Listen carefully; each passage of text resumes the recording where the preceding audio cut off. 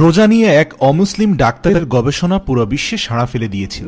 আজকের ভিডিওতে আলোচনা করব সেই ডাক্তার তার গবেষণায় কি ফলাফল পেয়েছিলেন, যে তিনি খুব আশ্চর্য হয়ে গিয়েছিলেন প্রিয় দর্শক, যখন কোনো মানুষ বারো থেকে চোদ্দ ঘণ্টা কন্টিনিউয়াসলি ক্ষুধার্ত অবস্থায় থাকে, তখন আমাদের শরীরের অভ্যন্তরে সৃষ্টি হওয়া বিভিন্ন জীবাণু ধ্বংস হতে থাকে।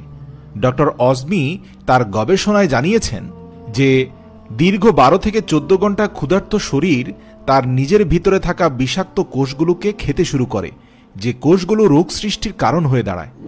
ডক্টর ইউসিন্দ্রি অসমি এর মতে, যখন আপনার শরীর ক্ষুধার্ত থাকে, তখন সে তার ভেতরে ধারণ করে রাখা ক্ষতিকারক বিষাক্ত জীবাণুগুলোকে নষ্ট করে ফেলে।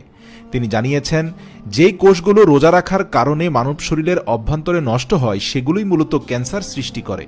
ডক্টর অজমি বলেন শরীরের এই সকল দুর্বল সেলগুলো মূলত আমাদের